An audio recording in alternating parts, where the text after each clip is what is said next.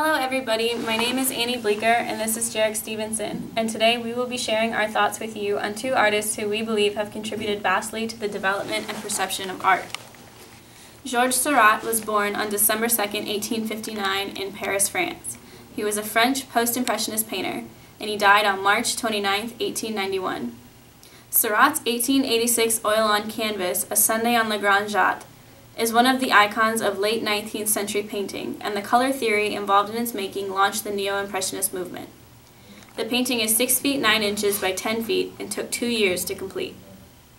The color theory involved in this painting's composition is called pointillism, which involves the compartmentalization of colors by hue and then applying them in small dot or line forms. This technique makes works appear blurry and unfinished up close, but complete and detailed from afar. The subject matter of this work is Parisians at leisure. In this work, the figures appear rigid and remote, while other similar Impressionist works of the time have human figures appear more spontaneous and loosely compiled. This is due to the carefully calculated technique of pointillism. Seurat captures what late 19th century public life looked like in Paris on a Sunday, with the coming together of people from various social classes in a public space. Though many of the figures are dressed in their Sunday best, making social distinctions less obvious, the man lounging in the left foreground is believed to be of a lower class than the couple seated to his right. And then the couple standing in the right foreground is believed to be of a higher social class than that seated couple. The most significant facet of this work is the use of pointillism. Pointillism was an extremely calculated and precise technique, and it is truly remarkable to consider that Seurat applied this technique to such a monstrous canvas. Pointillism allows for the entirety of a work to be appreciated from afar, which is a similar concept in Christo and Jeanne-Claude's work Surrounded Islands, which Jerrick will be sharing his thoughts about. Christo was born in Bulgaria on June 13, 1935. His father was a businessman who ran a fabric factory, and his mother was a secretary at the Academy of Fine Arts in Sofia, Bulgaria. Visitors to the Academy know Christo's artistic talent from a young age. Jeanne-Claude was born in Casablanca, Morocco, where her father was then stationed as a part of the French military. She has the same birthday as her husband, also on June 13, 1935. It is rumored that she and Christo shared a rather interesting courtship. Christo was commissioned to paint a portrait of Jeanne-Claude's mother, where he was initially attracted to Jeanne-Claude's older sister, while Jeanne-Claude was engaged. Shortly before her wedding, Jeanne-Claude became pregnant by Christo, and they ended up with each other. Christo and Jeanne-Claude worked predominantly with environmental works. Christo once said of, of his works with Jeanne-Claude, do you know that I don't have any artworks that exist? They all go they're finished. Only the preparatory drawings and collages are left, giving my works an almost legendary character. I think it takes much greater courage to create things that create things to be gone than to create things that will remain.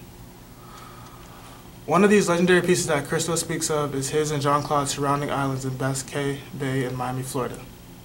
Surrounding Islands was on display for two weeks in May of 1983.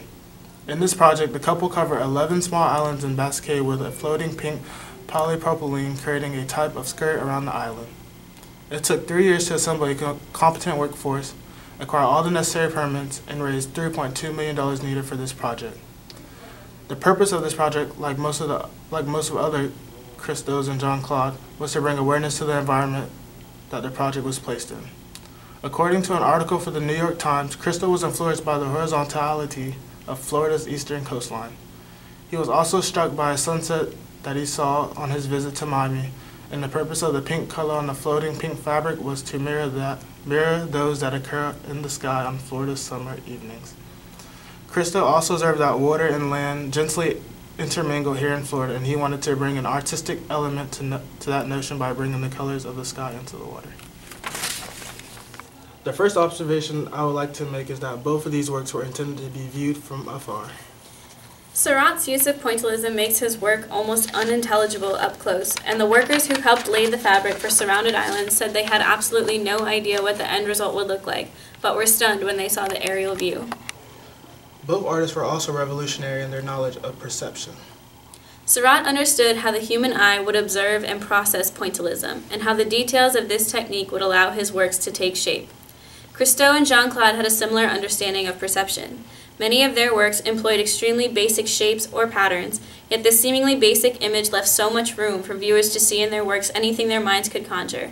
And oftentimes, in this basic shape or pattern, there was a complex meaning, message, or process involved. Both artworks are environmentally, environmentally inclined as well. I think this is obvious in Christo and Jeanne Claude's work. They took a natural space, the islands in Biscayne Bay, and created artwork out of them. The environmental consciousness in Seurat's work is more subtle. Our text states, Sunshine fills the picture, but the painter did not break the light into transient patches of color. Light, air, people, and landscape are formal elements in an abstract design. This analysis, I believe, provides us with the insight that both humans and landscape were given equal consideration and weight in the compilation of this work, suggesting that the construction of landscape is every bit as significant as the construction of human figures.